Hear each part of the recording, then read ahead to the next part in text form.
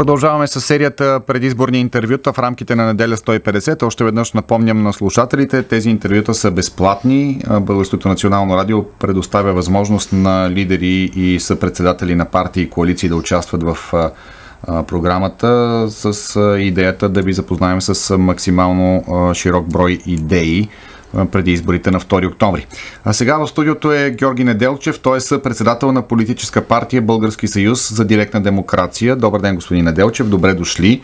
Добър ден. Да приемем, че социолозите бъркат, но все пак не ви дават кой знае какви шансове. Не сте били до сега в парламента, затова в началото да кажете какво е, какво е, какво трябва да запомнят слушателите за вашата партия, какво трябва да знаят, какви са вашите идеи.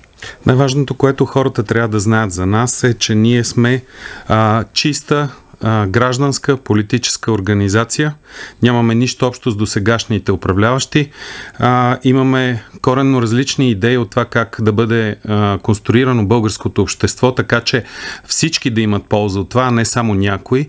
Така че а, на тези избори хората отново могат да гласуват за доброто за България, не за по-малко зло, не за голямо зло, а за доброто. И това е БСДД, Български съюз за директна демокрация с номер 2 в списъка на участниците. Как може да се промени начина по който функционира българското общество? Трябва да се започне от политическата система, т.е. да премине властта отново в ръцете на хората, както е по Конституция. Често се цитира член 1 или не 2. Това е така нареченото пряко гражданско участие. Това е начина по който хората могат отново да се върнат в политическия процес, от тях да зависят решенията за техния собствен живот и това да доведе до реална промяна, като се намали ролята на така наречените представители. Повече референдуми ли означава това, което Не само отзоваване на избрани лица, обратни референдуми, така наречените, т.е. изтегляне на закони, които противоречат на решенията на гражданите или не са в интерес на хората. Има и много други интересни инструменти, едно от които дори е общо събрание на населението в населените места. А, сега една от темите, които определят а, българската политика за добро или за лошо е това, което се случва в Украина, войната на Русия в Украина. А в последните дни станахме свидетели на ескалация от страна на руска страна. Каква е позицията на а, вашата партия по тази тема? Нашата позиция е много простичка и елементарна. Ние трябва да следваме нашия национален интерес. И този национален интерес ние сме го формулирали много ясно и конкретно. И той е само един. Благоденствие на всеки един български гражданин. Тоест, този конфликт не е наш, ние не участваме в него и не бива да участваме в него по никакъв начин. Да, част сме от съюзи, да, имаме ангажименти, но не е в интерес на нито един български гражданин да се замесва в тази а, ужасна а, война и конфликт. Искаме или не искаме, обаче ние сме замесени, господин Делчев. Най-малкото цените на енергоносителите се влияят от тази война, а ние страдаме от това. Да, това може да се поправи. Има една европейска държава, която е поправила тази несправедливост. Там нещата не стоят както при нас. Енергоносителите са с много по-ниска цена. В България, например, горивата могат да бъдат понижени реално с това левче, за което става въпрос. И това не е утопия, не е нещо нереално. Като държава държавата просто се намеси в работата на а, рафинерията и то с пазарни механизми. Най-малкото може да а, поиска преработване на а, суровина на ишлеме. По този начин цената на горивата, например в България, могат да спаднат с поне един лев. Ние го имам, имаме тази разработка, готови сме да представим на всички, които се интересуват. Какво ви отличава от другите, които призовават за мир, казват, че България не бива да се намесва в, войната? Отличава ни това, че ние не заемаме позиция в конфликта, защото а, не искаме да делим хората в България на фоби, фили и какви ли не други.